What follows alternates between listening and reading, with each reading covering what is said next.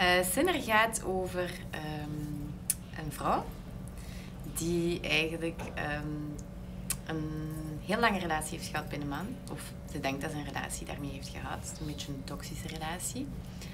Ze gaat op een bepaald moment weg om een beetje uh, te ventileren en gewoon een beetje afstand te nemen. En ze komt terug en die man heeft eigenlijk beslist om haar tijdens die afwezigheid uh, haar uit zijn leven te schrappen. Wat een beetje onverwacht is voor haar. En ze probeert doorheen de film hem uh, voor haar terug te winnen um, en hem te overtuigen eigenlijk van het omgekeerde. Dus het is eigenlijk het is een anti-liefdesverhaal. Het is een, een, een, verhaal over de eenzijdigheid van de liefde. Ja. Ik vond het heel interessant om um, sowieso... Want normaal gezien werk ik, heb ik niet gewerkt met acteurs. Dus ik vond het heel interessant om deze keer dat wel te doen. Ook omdat deze film heel um, gecontroleerd is gemaakt geweest. In de zin van alles is tot in de puntjes voorbereid. Elk shot is ook voorbereid, uitgeschreven. Iets wat ik eigenlijk daarvoor nooit deed. Ik vond dat wel interessant om deze keer wel eens te doen. En dan dacht ik van, ik trek dat door naar de acteursregie. Um, en dan gaan kijken wie dat ik eigenlijk heel leuk vond um, voor de rollen. Ja, ik had gedacht dat ik had een heel sterke vrouw nodig en ik vond Maaike daar wel um, goed bij passen. En zo verder. Uh, Marike Pinois, Charlotte Timmers zijn ook allebei heel sterke vrouwen. Hilde Heijnen ook, al de rest ook. En Dimitri die is er later bij gekomen omdat ik eerst verschillende acteurs ook heb gecontacteerd. Maar dat proces verliep een beetje moeilijker. Ik weet niet door welke omstandigheden, maar dat was uh, niet super gemakkelijk. En dan had Marijk net een keer, dat ze Dimitri de avond ervoor had gezien. Ik ken Dimitri ook al even. En, um, en dan heb ik hem eigenlijk gewoon gevraagd, zou jij niet die man willen spelen? En hij vond het superleuk en dan vandaar verder. Dat gaf een bepaalde dimensie aan de film. Omdat zelf als ik het scenario had geschreven, heeft hij altijd wel iets toegevoegd aan de dialogen die hij moest uh, brengen. Um, in de zin, ja, gewoon Dimitri als die praat, dan komt het er altijd veel literairder uit als de, de gewone mens, of de mens die geen schrijver is of geen literaire achtergrond heeft, um, praat. Dus dat was wel een extra dimensie die ik niet had verwacht aan de film, maar die, die wel sowieso iets toevoegt aan het personage, ja. Hm. Hij komt heel zelfzeker over, ook als hij praat, en dat had ik wel nodig voor die rol de bedoeling was wel vanaf het begin om een film te maken die larger than life was. Dus de die, die, theatraliteit uh, die dat mijn acteurs ook naar voren brengen. Er wordt heel theatraal ook gespeeld. Uh, die moest ik wel terugvinden ook in de kostumering, in de make-up, in de, de production design.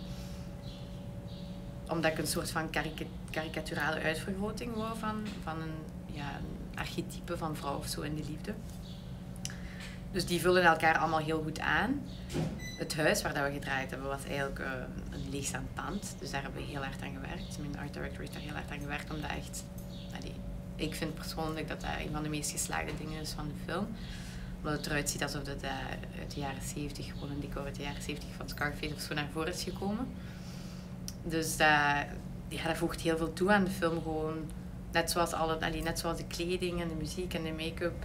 Um, ja, het is gewoon één theatraal universum. Dat is het geworden. Uh, omdat ik sowieso als vrouw natuurlijk met mijn vriendinnen daarover praat en heel veel verhalen hoor. En ik hoorde telkens het verhaal vanuit één kant. Um, en heel veel herkenbare situaties kon ik um, linken aan verschillende mensen. En ik wou daar altijd al iets, iets over maken, over het feit dat als je langs één kant verliefd bent, dat dat heel moeilijk is om die balans te zoeken tussen je eigen te kennen en alles te doen voor die persoon aan de andere kant.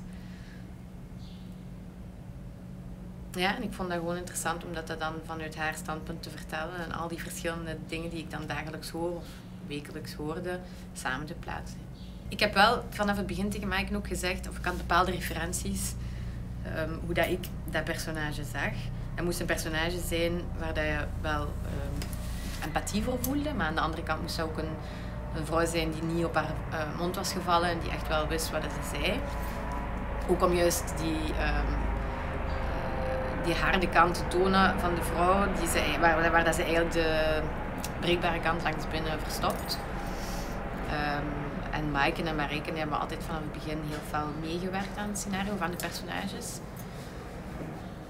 Marijke speelde al veel van die rollen in het theater. Uh, heeft ze sowieso altijd uh, beaamd. Dus ze, ze, konden elk, ze konden dat echt heel goed aanvoelen wie dat die vrouwen waren vanaf het begin. We hebben daar niet, geen moeilijkheden bij gehad of geen tegenstrijdige opinies over gehad of zo.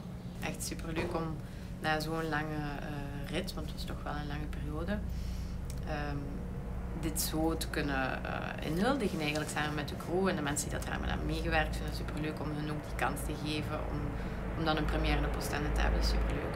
Hij komt volgende week uh, uit een bepaalde zalen uh, in de Sphinx in Gent, in het filmhuis in Mechelen, in de studio in Antwerpen. Bepaalde data, wie weet nog andere data of andere zalen, daar zijn we mee bezig. En dan komt hij ook nog in, op het Nederlands Filmfestival op 1 oktober in Utrecht. Cinevox.